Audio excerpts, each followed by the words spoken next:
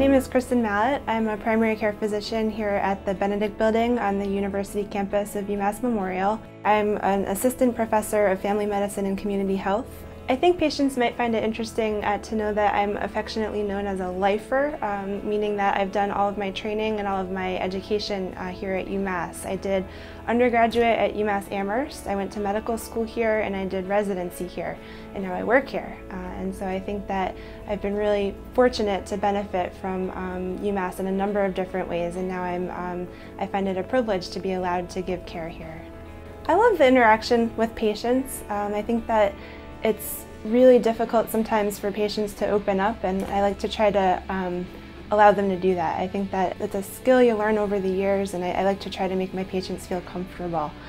I've always wanted to be a doctor. Uh, nobody really knows where that came from. Uh, ever since I was three, four years old, uh, thinking back, I can remember I wanted to be a doctor.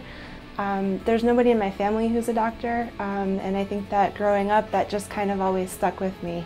I really liked medical things, uh, and I think I was able, sort of getting older, to incorporate that um, into my, my passion for caring for, for people.